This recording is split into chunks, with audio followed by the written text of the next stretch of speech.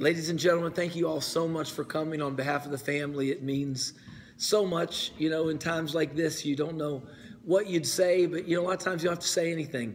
Just seeing each other's faces, you know, getting to feel the touch of a hand, the, the, the smiles, it's it all it's so significant. In fact, the Bible says in the book of Isaiah that this is this is true religion, not to hide yourself from each other in, in times of need like this.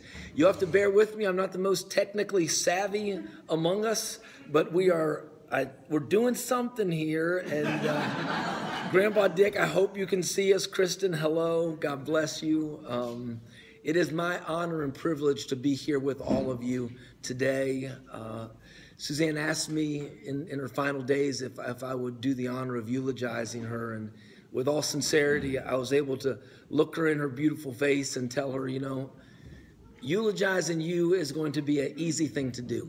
You know, as beautiful a person as I have ever met. And uh, I told her at her bedside that, that when this time came, it would be one of my greatest honor and, and privilege to be here with her friends and her family. And on her behalf and upon Dick and the family. Once again, thank you. Let's open in prayer, and then we're going to have a song. Let's pray together. Father God, we love you. We adore you. We thank you for the gift that this great woman has been in all of our lives. Your word says that every good and perfect thing comes down from you, Lord. And um, God, we know she wasn't perfect, but she was awful close. She was so beautiful, she is. Lord, we just thank you that, that you assure us in your word that you are the God of the living. You say, I am the God of Abraham, Isaac, and Jacob, long after Abraham, Isaac, and Jacob had passed from the eyes of those that were walking this earth, God. So we thank you that she is yours and you are hers. And I pray, God, particularly for Dick and for the family right now, that in this moment you'd bring a comfort, you'd bring a peace. And we just uh, thank you that you can do miraculous things like this in Jesus' name. Amen. Amen. We'll have this song on Eagle's Wings.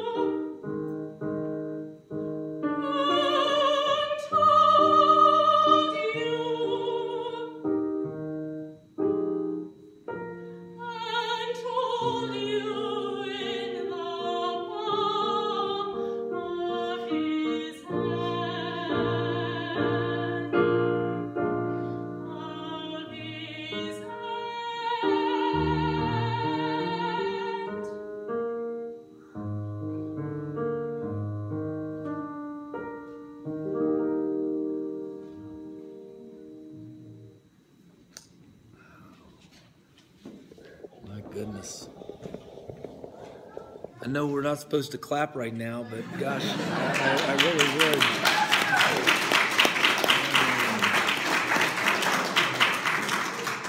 That's amazing. Thank you guys so much. So beautiful. Fitting.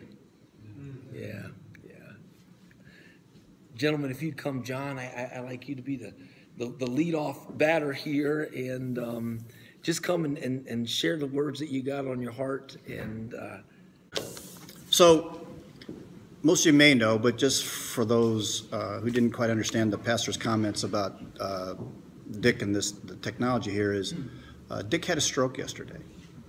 Uh, so that's why he's he's not here. But he's he's alive, uh, and it wasn't a bleeding um, stroke. It was a blockage stroke, and because of blood thinners, he's he's he's doing as well as can be expected. So the intent here today is to to videotape this, and then afterwards, over here on the side.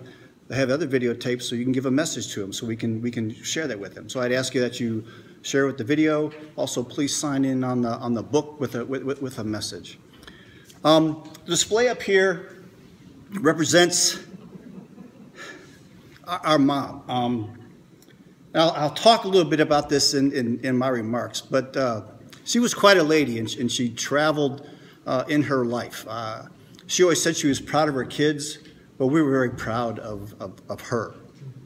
Um, remarks today, um, I started working on when I was sitting with her, um, during her, her final days as to what things that remind me of her. And so the first, first story is this broom. She was an avid neat freak. I mean, she was she would she was constantly cleaning. And when we lived on uh, on Tamarack, my brothers and I um, would be sitting on the back seat. We pull in the driveway and we start counting because how quickly did it take for mom to get out of the car, grab that broom, and start sweeping that front porch? I mean, we were just it was it was like a lottery ticket. The other thing was she was hard. She was she was hard on checking your rooms. Uh, she literally did white glove inspections of my bedroom when I was growing up. So West Point in the Army was easy. I mean, you know, I mean, she she set me up. She'd come in there, she'd run her hand across the top of the doorway, and I go, "Come on." I don't know where she got it from, but she was she was she was that she was that lady. Um, she was a great gardener. I mean, she loved love gardening and doing different things. But again, it was gardening with a purpose. And we got to a point where she was, uh, she had a Japanese, she wanted to do Japanese rock garden. And so we would give to her on her birthday or some type of gift two things. The first was so many holes. Okay? because when you dug a hole for her, had to be so many inches in circumference and it had to be 18 inches down. And it was 18 inches all the way down and she'd bring out a ruler and she would measure that hole.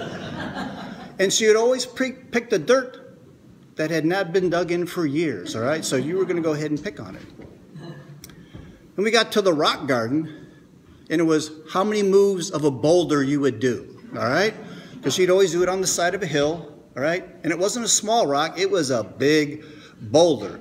And I'd say, okay, you know, here it is with love, three boulder moves, you know, in your in your, in your rock garden. So she was, she had that that that piece. Um, flowers. She, was all about flowers and, and, and that beauty. And we kind of showed that. We put flowers on the table and we'd ask you that you take those with you, all right? Those are, and they're, they're, they're living flowers, to take them and, and, and plant them in your home and, and let them remind you of, of, of, of Suzanne she, she always made a house a home. I mean, I never felt more welcoming than, than coming up to her, to, to the house because you drive up, there'd be colored lights in the windows. Some of the candles that we have here, her house was, was always there. Um, there's a clock here. If you ever stayed with, uh, with Suzanne, the clocks were all through the house and none of them were set to the same time, right? Literally, through the night, you were not going to get a good night's sleep because the clocks kept going off all different times. He was like, "You're driving me crazy," but that's just the way the way she uh, she she worked.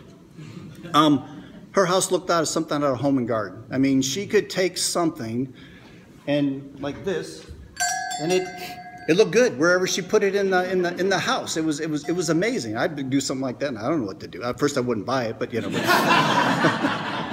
But it it helped as we as we went forward. Um, she knew her mind. I mean, she was a she was a driven lady, but she went back to school in her, in her, in her, in her, 40s to get her nursing degree. I mean, 4.0, straight, straight A's to go, go and do it. And then she started her own business. First massage, massage therapy, and then on the cutting edge in terms of therapeutic massage. I mean, I, I questioned, you know, energy fields, but it worked. I mean, you know, I mean, uh, then there was the crystals. I mean, I have crystals in here that she that, that she gave me, you know. Um, but she was always kind of working. She was a health nut. How many people have seen that, that movie, My Big Fat Greek Wedding? Right? Remember the Windex? For mom, it was Sunbreeze and Cali tea. Whatever went wrong, you either could drink it with Cali tea or you could go ahead and put Sunbreeze on. And that Sunbreeze would take the skin right off your body, but you were better. When I had, uh, when I was going to the West Point Prep School, I came down with a severe case of mononucleosis. I couldn't swallow. My throat was, was so sore. And they finally said, go home, take 30 days off, and get as much sleep as possible. So I was in Fort Belvoir, Virginia, rode home to, uh, to Tamarack Road, walked in the door, told my mom, says, I'm, I'm sick. All you want to do is go to bed. So I went to bed. An hour later, she woke me up. She says, John, I go, what, Mom? She says, you need to eat these bean sprouts. I'm going, what? Yeah, eat, eat these bean sprouts, they'll make you feel better. So I ate the bean sprouts, go back to sleep. Hour later, John, what? Time for more bean sprouts. okay. Woke me up a third time. Mom, no more bean sprouts. Just leave me alone. I didn't see her for a day and a half. but it was, she always had health foremost in, in her mind and, and giving it to her family. It, sometimes we questioned it, you know, but we, we, we took it. Um, she was a great uh, environmentalist. You know, she was always recycling things, mulch, yard waste. we always laugh because we go in the house and she would wrap stuff in wax paper and secure the rubber band. I was always wondering, what did the rubber band do? I mean, you know, they keep something else to go forward. But then in the later years, if the paper towel wasn't completely used, she'd fold it up and stack it right up there in the thing. And I go, Mom, what are we, what, what are we doing with these paper towels? She's very religious. She had a religious journey that started out as a, what I call high Episcopalian, uh, Lutheran, Missouri centered um, unity, and then back to uh, traditional, what we should call traditional church. But she always had her faith in, in, in God and, and, felt very strong right up to the end. It was always like, where's God, wherever God's what, you know, will for me, I'm, I'm willing to go ahead and, and, and, do it. She was, you know, uh, a wife, mother, a grandmother, a great grandmother across two families, and then a friend to, to folks. But it's, it's interesting. I've been very lucky in that I've had five generations of women who've impacted my life. My two grandmothers, my mother, my wife, and then my sisters, uh, my two daughters, and then now my uh, granddaughter. and I'll share with you a story that kind of shows how all those different generations kind of were used to manipulate me. so we were in England and we were there for a year, and um, the British Army goes on block leave. And so my mom came over for block leave. Dick didn't come over with them. And for this, I'll always have a bone to pick with them. so we're going to go to Scotland. Um, we have uh, ties to the Rose clan, and, and the Rose ancestral home is up in, um, in, in, Scotland. So we're going to take a, a drive up to Scotland. So it's me, Joan, Kathy and Carolyn and mom, we have a Volkswagen bus. My mode of operation is you drive until the gas tank is empty, then you take a break.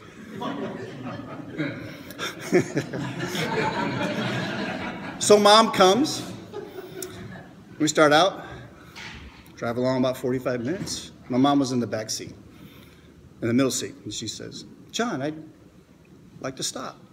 Mom, we, we got plenty of gas. We're, we're good to go for another couple hours. She says, No, I'd like to kind of stop, get something to eat, walk around.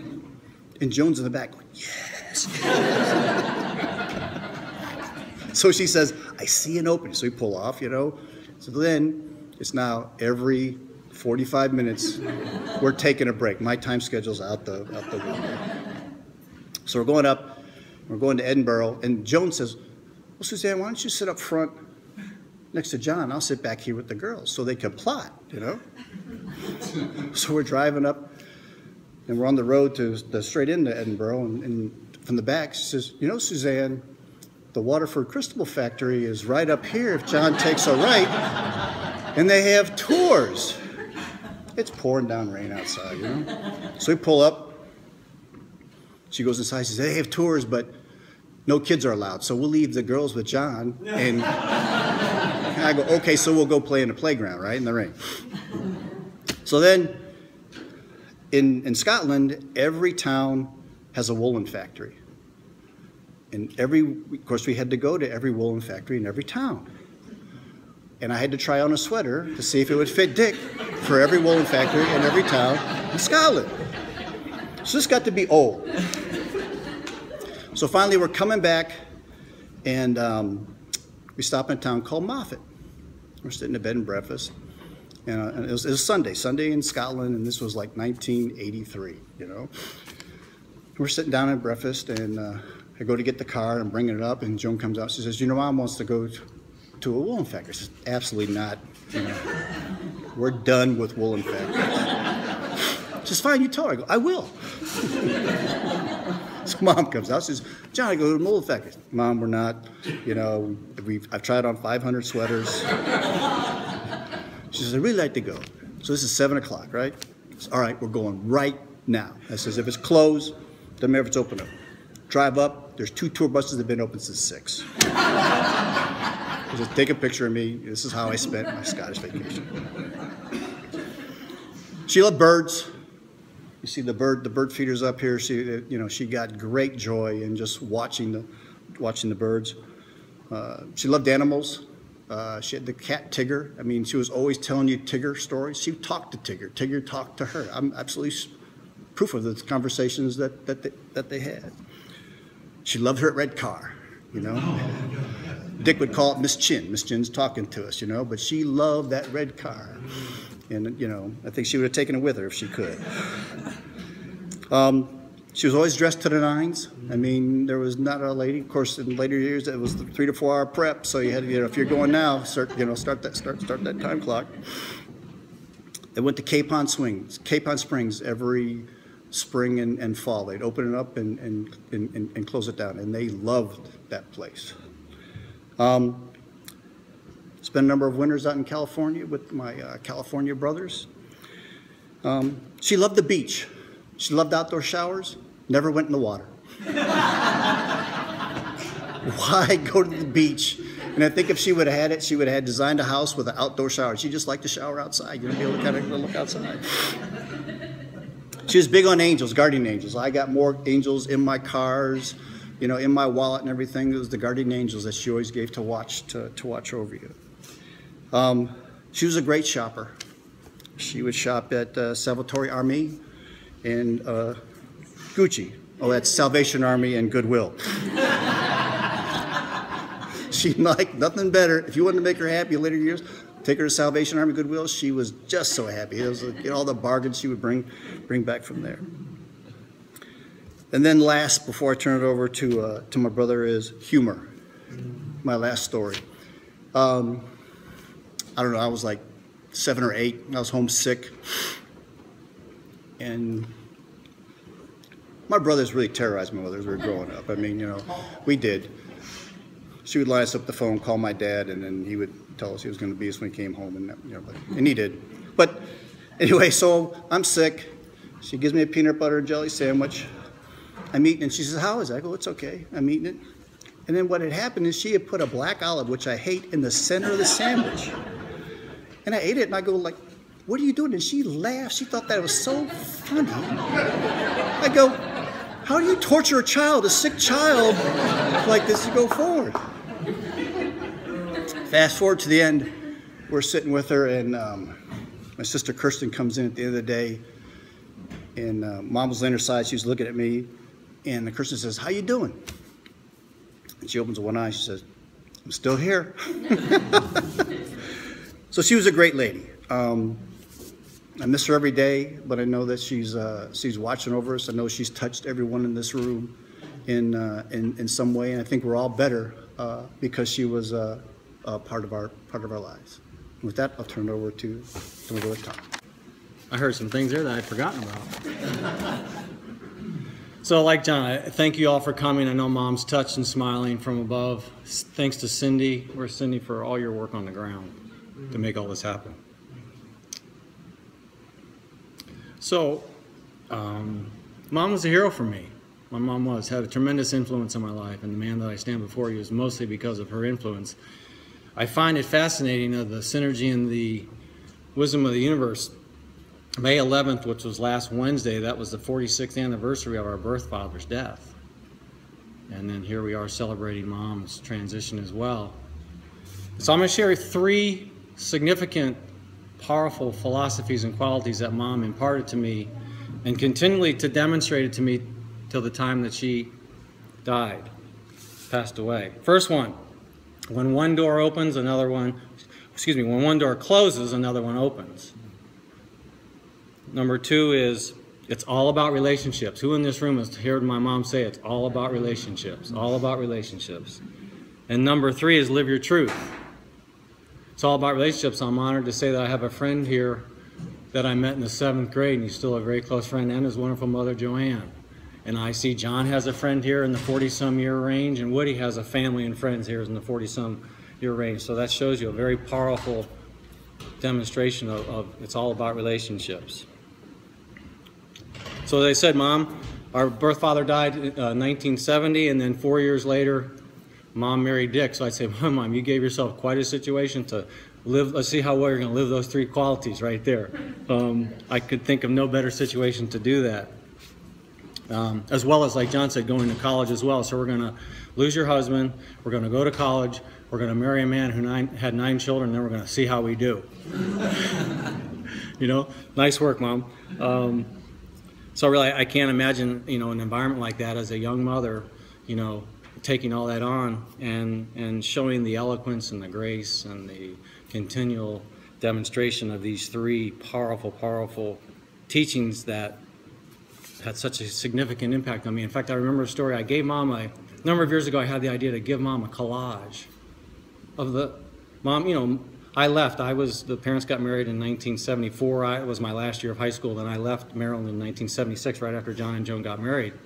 So mom was wonderful about how sharing, you know, things that she was into. Like you know, this is a representation of, of the, the, you know wonderful tapestry of interest and philosophy. And so she would just very lovingly send us things and books. And so anyway I got an idea to I saved all that and I, I, I assembled this collage. It was really fun. I us Bartley brothers aren't too art creative. Thank God we had a lot of women helping us on this um, because this would have been quite a project for the four of us. Um, but I, it was really fun. And so I gave it to her I, I sent it off to her, and, and she, many a number of years later, shared with me how powerful it was for her as a parent that it confirmed that you know as a parent those of us that are parents and grandparents in the room i think we forget you know when we share something or we impart something what kind of effect that has on our children. And it was a tremendous she shared with me it was a tremendous confirmation for her when in seeing that collage and all those years had transpired. And and so i my sense is that even now, again, as I shared, I left many years, you know, shortly after my parents were married, and most of my influence comes from after I've been gone. So I think all of us need to remember as parents and grandparents, we continually have a very, very strong impact on our children and grandchildren. Is that right, guys? So I'm grateful for the time that we had with, with the parents. The parents came out to California in June last year. Thank you to everyone in this room that helped make that happen. That was some of the, the sweetest memories I'm going to take for, for, the rest of my days. Um, one of my favorite memories, the parents love Doc Martin. I know some of you have given them. So on Thursday nights, Doc Martin was on, and we would tape it because we were working a little bit late, and then we would agree on a time that we were going to watch it. And then many times we would go up to the room that Stacy and I had let them use our room, and we would all assemble. Mom was usually on the bed. We have a coon dog there that she grew to really, really love. Um, some of us were on the bed, some of us weren't, and and we would watch Doc Martin, and it was just pure bliss for Mom. I mean, she had the show, everyone was there. It was just it was very, very special memory. Also, I had many, many memories the way our schedule, we all, my two brothers and Stacy and I and dogs, and we have a lot of moving parts in our house. We kind of have a family commune in California. And the way our schedule worked, there were many times where I had one-on-one time with mom. She would get up in the late morning and just the way my schedule worked, and I would have one-on-one, one-on-one time as an adult son for five and a half months. That's like the greatest gift I think one could ever ask for. Um, so in November 2010, we lost our sister Nikki. And then one week, excuse me, yeah, one week to the day, we lost a family friend who was also our computer person, who actually the parents knew when they spent time out. So we lost our sister Nikki, forget which day it was in November, and then seven days to the day later, we lost his friend. And I can remember coming in the house that, that, that morning, when we, his name was Mike, and it was worked out, and Jim shared with me that Mike had died, and I said, wow, you know, just working having experienced loss many years ago with my dad and then Nikki and then this friend. And I just I, I literally I sat down. It hit it hit me that hard. I just sat down you know what's the message here? What's and it was again right before Thanksgiving and for me I said you know let people know that you love them right now. Don't you know don't wait. Let them know now. And so I some of you in this room I sent letters hand wrote letters out and just said look life is precious. Thank you so much for being a part of my life. And took you know a couple weeks to do that, and then something told me I should reach out to my wife now, Stacy, who I didn't really know that well, because Stacy's sister is married to my fourth grade friend Wally, and it just kept coming up. Reach out to Stacy. I said, "That's weird. Why would I reach? I don't really know Stacy, you know." And you reach out to Stacy. You reach out to Stacy. So finally, I, I acquiesced. I said, "Okay." I didn't even have Stacy's physical address. I just had her email address. So I reached out there and just said, Obviously, it wasn't appropriate to tell her I loved her at that point in time. I, I know we move fast, but not that fast. So I just said, you know, I hope you're doing well. You know, my sister has passed away. I, we've lost a family friend. Life is precious. I really hope you're doing well. And, and as they say, um, the rest is history. We, we chose to speak over the phone for two months, and then Stacy came out. And so, lo and behold, I've created a version of what our parents created because Stacy does kids and grandkids real well. She has six children and 11 grandchildren, and I have two children. So we've created a version, a 21st century version of what the Bartleys and Brintzenhofes has created. So thank you, Mom. You know, um, had we not, a couple other interesting notes is Stacy's birth father died actually the same year that Ham died in 1970, and then Stacy's mom just died on February 28th. So we have some interesting parallels, um, kind of like we're destined to meet. So.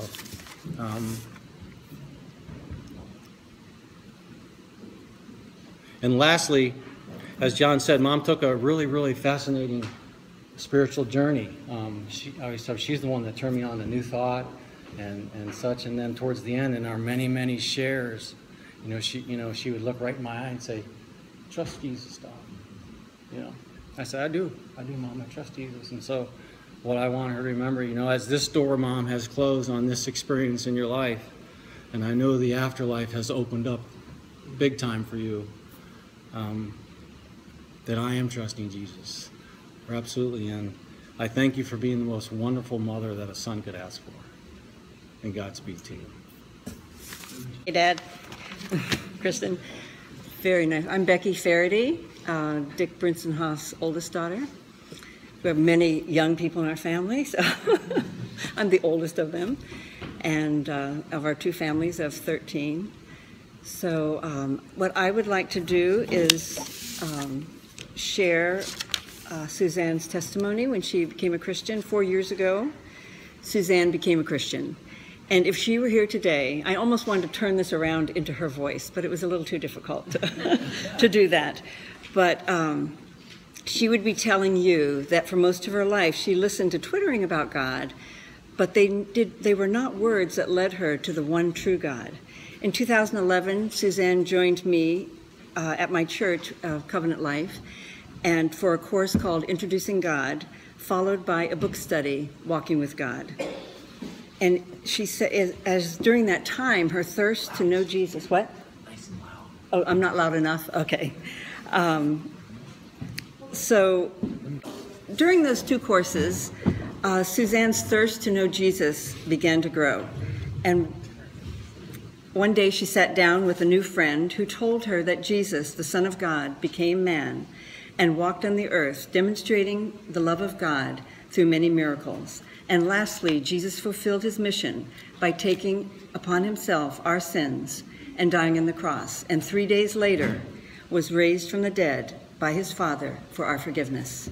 At that point, Suzanne received by faith, received by grace, the faith needed and accepted Jesus Christ as her Savior, forsaking all other false hopes. She purchased a study Bible. It was at least this big. And it was in weight, it was about half of her own weight.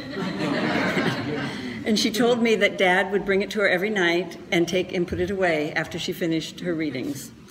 When she initially was diagnosed with Alzheimer's, she proclaimed that Jesus told her he would take care of her. And when she later was diagnosed with cancer, having again, she found her solace in Jesus Christ.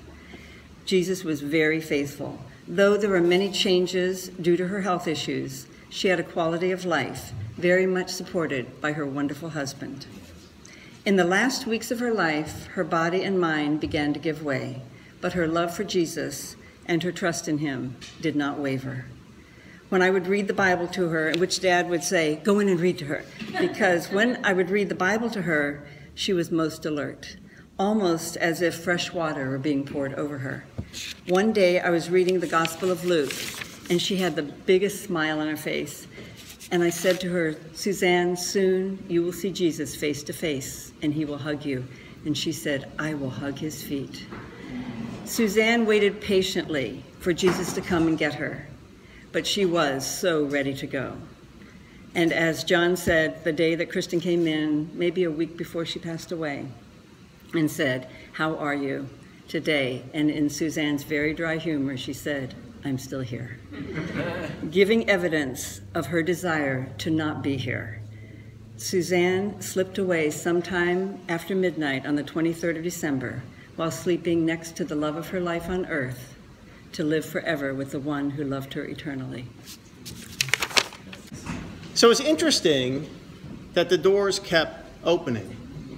I kind of find that fascinating. I kind of find it very, very divine and a symbol that mom's here. In fact, quick story we went out to dinner just the other night and we went to Bassett's, which is this lovely place right close to where we're staying.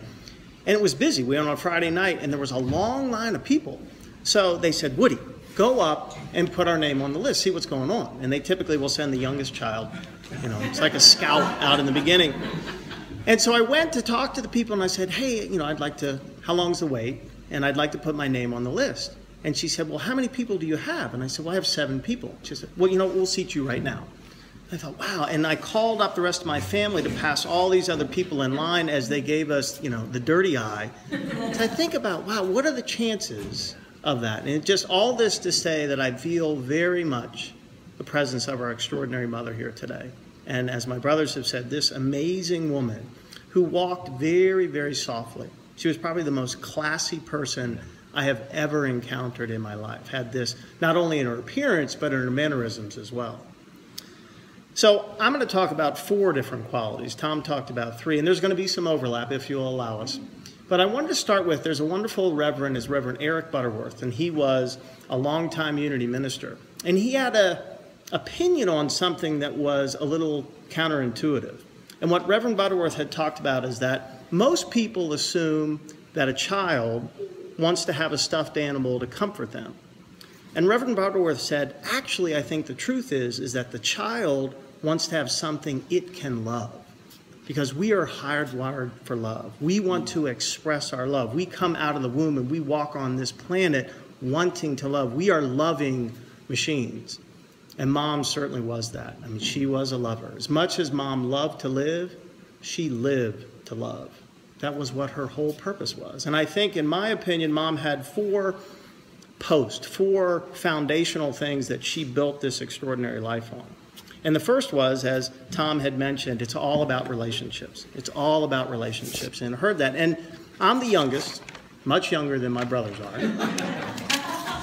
and, and I heard this in the background when I was growing up. You know, it's one of those things, you hear it, you hear it, you hear it. And then as I got older, I realized, wow, you know what? Mom was right. It is all about relationships. It is all about connection. It's about connecting. We live on this planet with a lot of other people, and we're not meant to walk our path alone. While we have solitude, we're meant to be in communion with other people.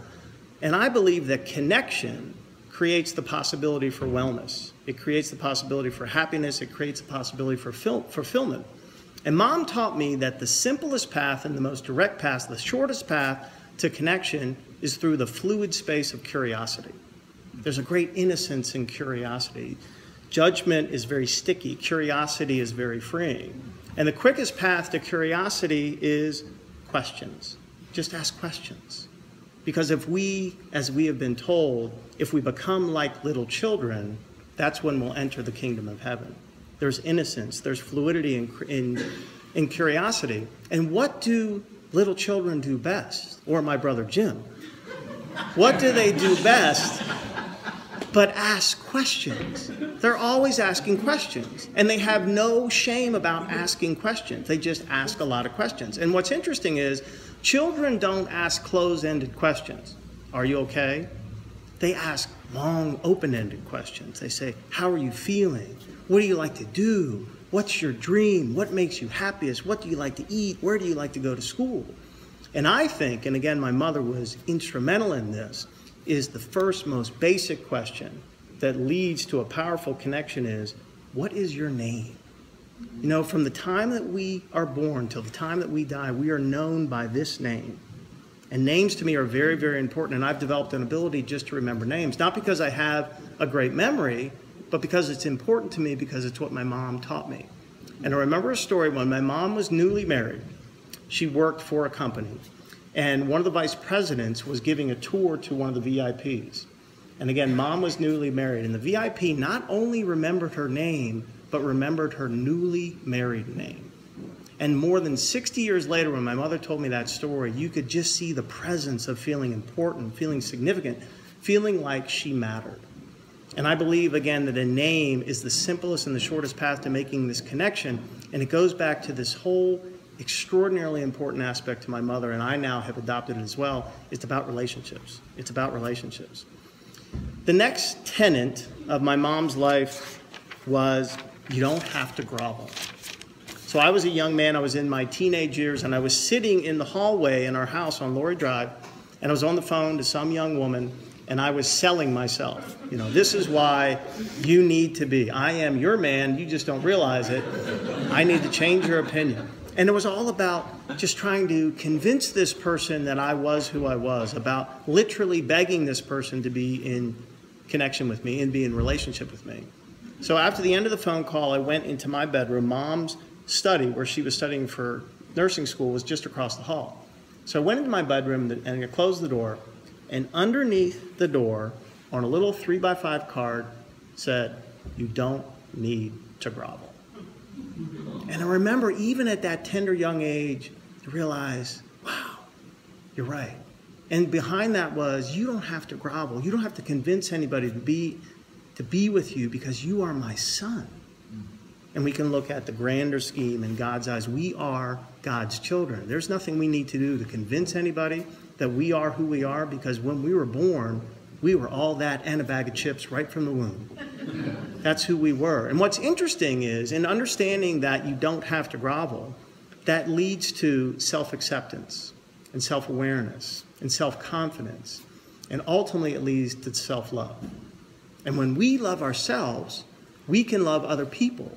And when we can love other people, we can develop relationships. So the whole thing becomes circular. And when we develop those relationships and we have those people who are in our immediate circle and then the ripples go out, it is what I've heard, it's like an Eden of camaraderie. Wherever you go, you have this experience of being in relationship with people. You have this experience of being connected. Like there's this heartfelt experience. And it makes the difficulties and the challenges of life a lot more easy to manage when you feel like you have this sort of connection. So the next tenet of the four was mom talked about that moderation is the key. So when my big brother John got married, he had a bachelor party. I wasn't old enough to participate. A couple of my brothers, and we won't mention names, got a little too excited. Maybe participated with a little bit too much enthusiasm and then experienced the physicality of those choices the next day. And what was interesting was mom, on a small little piece of paper, didn't even go inside the room, taped it on the outside, and it simply said, Moderation is the key. And you know what's really cool about this? And this speaks volumes about my mother. That was her method of communication. It was very simple, it was soft spoken, it was almost plain, but it was not wrapped in judgment and confusion and anger. Instead, it was wrapped in patience and understanding. And, and right on top, it was adorned with the bow of compassion. And that's what mom was all about.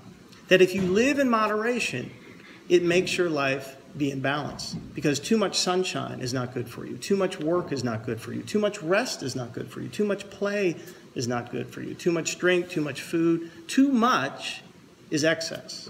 And excess will ultimately lead to imbalance, and imbalance leads to difficulty. But on the flip side, if you can live in moderation, life becomes just a little bit more easy to manage.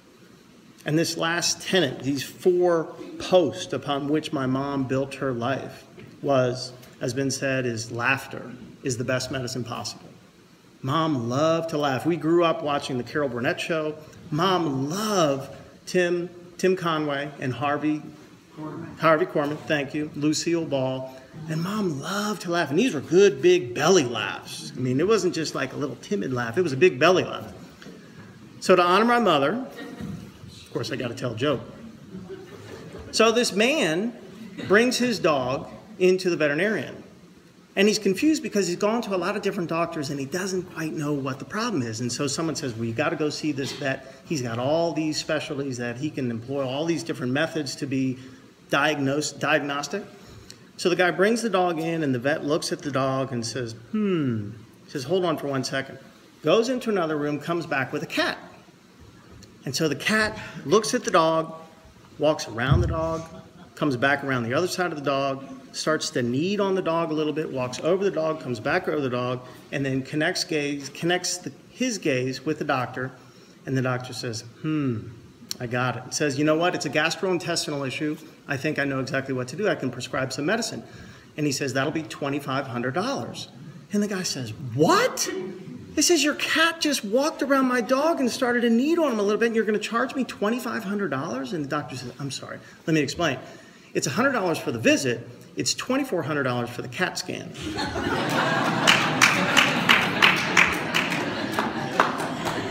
and with the pastor here, I'm going to end with one, one more joke. One more joke. So, a little girl and her mom going to church.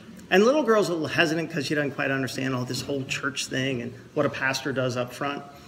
So the pastor starts and says, Lord, we are but dust without you. And the little girl looks at her mom and says, Mom, what's butt dust? so, forgive me, but mom believed that when we laugh, our very soul smiles. So imagine your soul like the center, like right in your solar plexus. When you laugh, that's what your soul does, it smiles. So at the end of the day, as mentioned, that mom loved to live, but she lived to love. And that she created this life about, it's all about relationships. It's you don't need to grovel, you don't need to beg life to respond to you. That it's great to laugh, and that moderation is the key. And I think it's natural for any of us that when we get to the end of our turn in this human existence, we want to look back at the scoreboard and think, did I, did I achieve my goal? Did I live successfully? And I love Emerson's this empirical benchmark that he came up with, and I'll read this, in which the question was, What is success? Success is to laugh often and much, to win the respect of intelligent people and the affection of children, to earn the appreciation of honest, critics and endure the betrayal of false friends, to appreciate beauty, to find the best in others, to leave the world a better place, whether by a healthy child, a garden patch, or a redeemed social condition. To know even one life has breathed easier because you have lived, that is to have succeeded. And I say, Mom, in the final accounting, you are, without a doubt, the most successful person I've ever known. I love you, Mom. If there's anyone who would like to come up and say a word about Mom, this is the time to, to come up. Please, the mic is open. I'll make this very brief. Uh, my name is Red Arwood, and I have the band at Capon Springs twice a year. And it's very interesting. Uh, got to, my wife and I got to have a real relationship with uh, Suzanne and Dick, and uh, they would, uh, as they told me, they would gauge their their stays when the band would play. We would play once in May and once in October, and uh, so we got to be really good friends. And of course, they had certain tunes that they liked and whatnot. But the greatest thing was every time we saw them for the first time, it might be for when we got together to eat and whatnot in the dining hall. They were all, I mean, hugs. It was just so much fun. It was like a long lost relative that we hadn't seen for several years. And then the second thing and last thing I'll talk about is the morning that the band would get ready to leave. There, there are six guys in the band.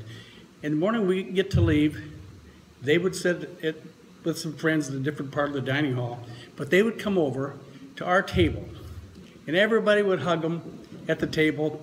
And it was so interesting because Suzanne would, was always so genuine and so loving and caring. And I told Marilyn, I said, you know, they, they really have to be two of the best friends we've ever met out here. and uh, I've been doing that for 22 years, and I can say that that I don't know how many years that they they were coming, but I've seen them for a long, long time.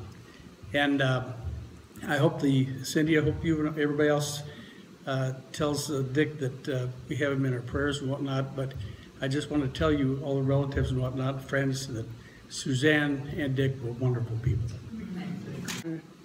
Hi, Grandpa Dick. And I, this is just something I want to share about her. I didn't have as much time with her as a lot of you did. Um, but this is just a story of Suzanne.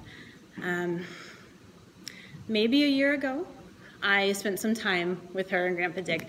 We were, I was there with my husband, Stephen, and our two boys. And I have a neurological condition called synesthesia, which basically means my senses are kind of scrambled. Um, when I get an auditory input, I have a visual response in my mind's eye. So whenever I hear a noise, I also see a color. So I thought it would be fun to do a portrait of us with uh, Dick and Suzanne, uh, just drawing our colors uh, in an abstract way on a piece of paper. This is something I do for fun. So I need to listen to the sound that I want to draw. I need to catch the color. And um, I listened to Suzanne. I said, go ahead, just, just tell me something. Just say anything. And I don't remember what she said. I never remember what they say. But I remember the color. So I shut my eyes and I listened to her. And when I opened my eyes, I said, how do you feel about lavender? And she put up her eyebrows. and she said, Go look in my bedroom. And if anyone was in the bedroom, it was this beautiful shade of purple, a little more vibrant than lavender. But um, I, I, just wanted to share that through that gift that I have in the strange way that my senses are wired, she was lavender, which is a color I know she loved very much. Thank you, Kari. Two quick reminders. Um, and we still have a little bit more to go, so thank you for indulging us with uh, this opportunity to honor this extraordinary woman. As mentioned by John, there are plants on the back. Please feel free to fight over them to see who wants to take them home. And they're living memorials of what mom's greatest artwork was. She painted with flowers. In addition, there is a bench that is going to be at Black Hill Park. I think I have the name right. So go enjoy the bench, sit, laugh, and think of mom. And at this point, I'm going to ask my brother Keith to come up. and then we're going to have the soloist sing after that, and then Pastor's going to bring us home. of technology, I have a text message from my dad, so which, which I'll share to you. But you know, before I speak, I'd like to you know uh, share with the Bartley brothers here how important you are to me, and it was just it was so fun to hear you speak. You're just so handsome, you're smart, you're funny. Uh, John, I never knew how funny you were until the last few years. I was just, it's great. So I just really, I really reflected as I was sitting here, reflected on her, Suzanne and her wonderful sons and how wonderful it's been to be brothers with you. So thank you. Thank you.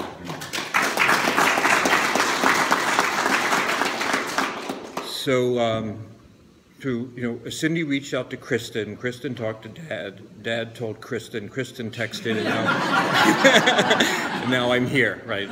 So, uh, so from from from uh, Dick Brintzenhofe, uh, we had a good life for 41 years. You know what? It's been quite a chore getting used to being single again.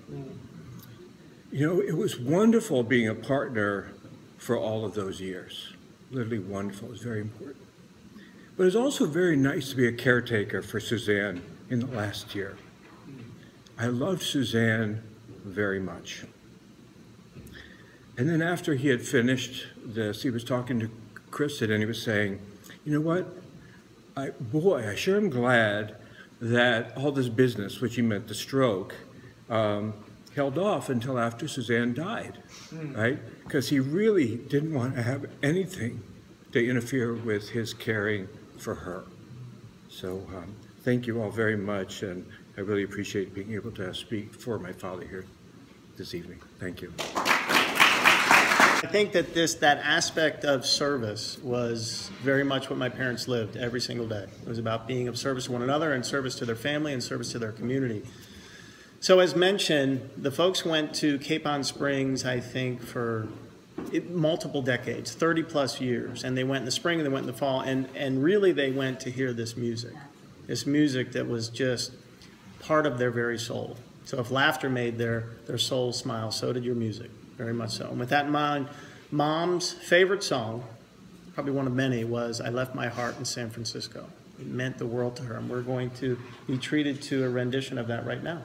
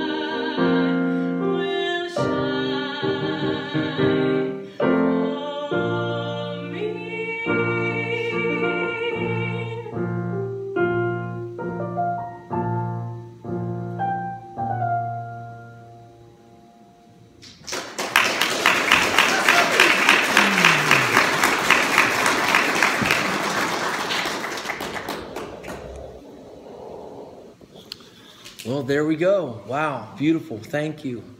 When we started this service, I, I, welcomed all of you and I said that it was my honor and my privilege to be with you in this time. Um, it is my honor because Suzanne spoke with me and invited me into this moment, and it has been my privilege to to be here. The words that everyone has said so far have been so significant and so worthwhile. I'm reminded of the Bible verse, uh, Proverbs chapter 31, where it talks about the woman of noble character who can find her, and it talks about the fact that her children will rise up and call her blessed.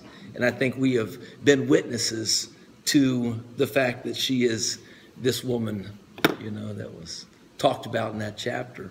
Another passage came to my mind as we were together, and it says, Blessed are the sons born to you in your youth, for when you stand at the gate of your enemy, you won't be turned back, you won't be dismayed, you know. And um, as we've stood at these gates, you know, at this, which is humanity's greatest challenge, which is this expanse that we all are destined to cross.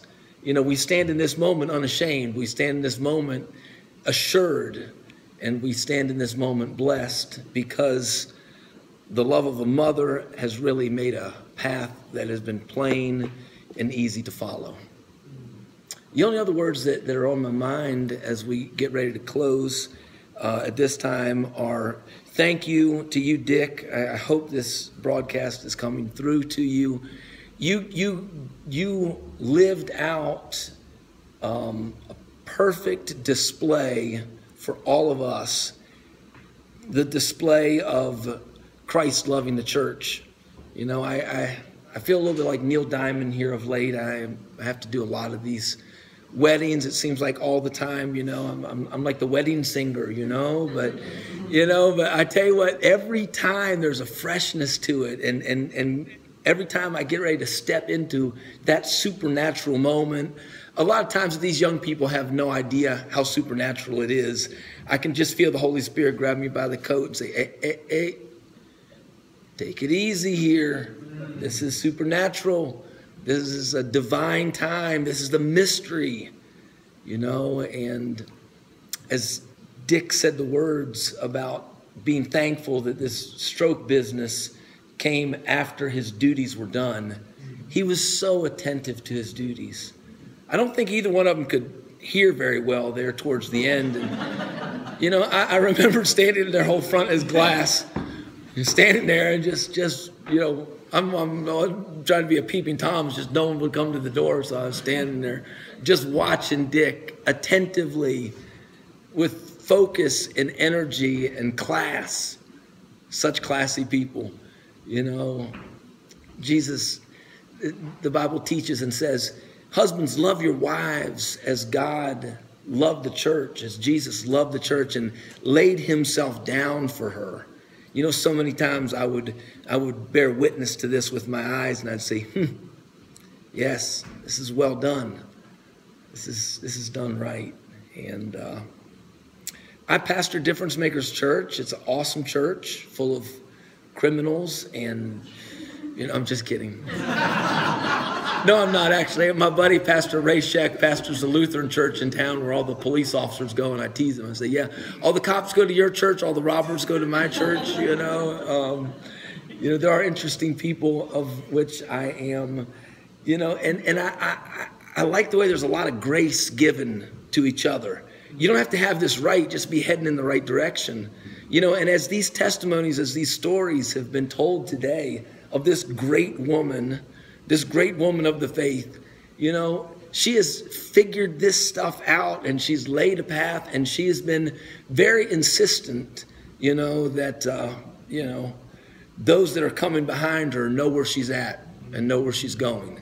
I mean, time and time again, she would she would assure me with just the confidence and the peace that, you know, my words are unable to describe. She's like, I'm okay you know, I've got great peace with Jesus right now. You know, she's looking at me and making me like nod, like, you get this? I'm like, I guess. I mean, I, I think I get what you're saying. You know, she's like, you need to make sure. You know, which is why, you know, she she dreamt of this moment well before this moment was upon all of us.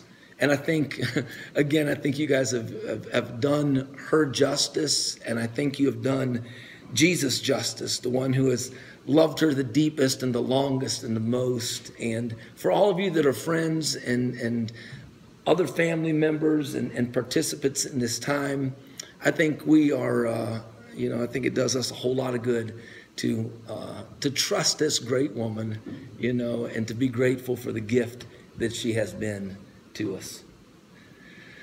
The wedding ring that we usually pick as a token or a symbol of the mystery of marriage, it's got no beginning, it's got no end. You can't figure out when it got started or where the smith left off his work, you know, and it's the same with this love that, uh, that we have observed here and that we're a part of. Let's join together in prayer as we close our time out together today.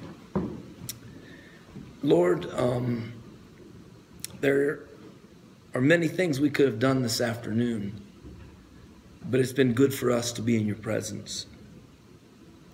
Father, it's been good for us to, to quietly reflect on the gift that this great woman, Suzanne, has been to all of us. And we just want to thank you for her. We want to thank you for her life. Lord, um, I'm sure she's, you know, doing something interesting with you right now. And uh, however you do what you do, please let her know how deeply she's been treasured and uh, how her words and the example that she's given have been honored today.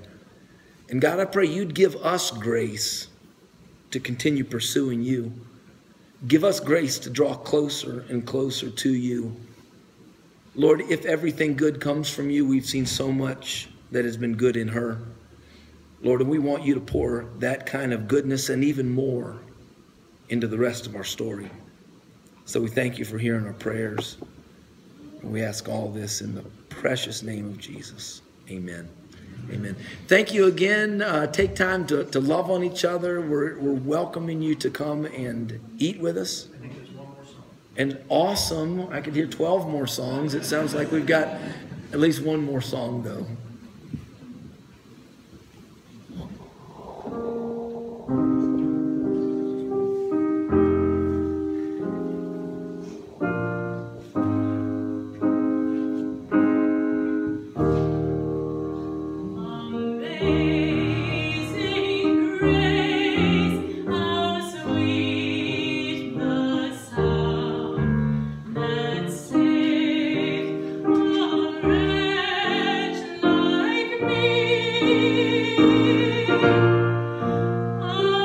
I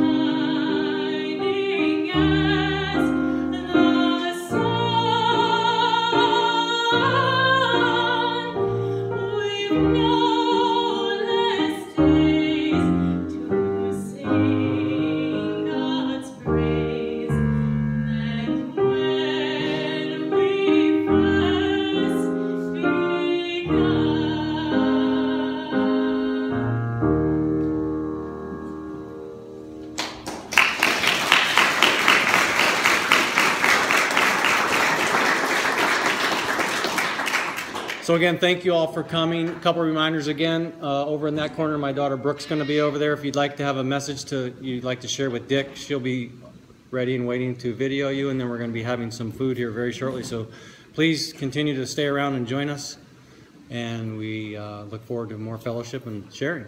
Thank you.